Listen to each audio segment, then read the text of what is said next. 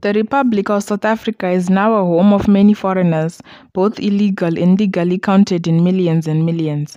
Zimbabwe nationals are believed to be the most dominated.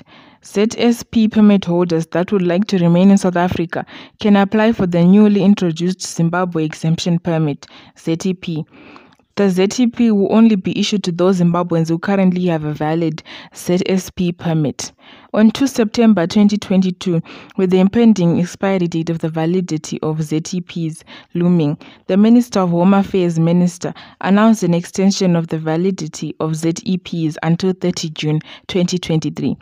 Faced with the expiry of their immigration documents in June, many Zimbabweans in South Africa have decided to return to Zimbabwe. Deputy Director Family and Social Protection and Commissioner for Refugees in the Ministry of Public Service, Labour and Social Welfare said that the government is ready to receive its returning citizens.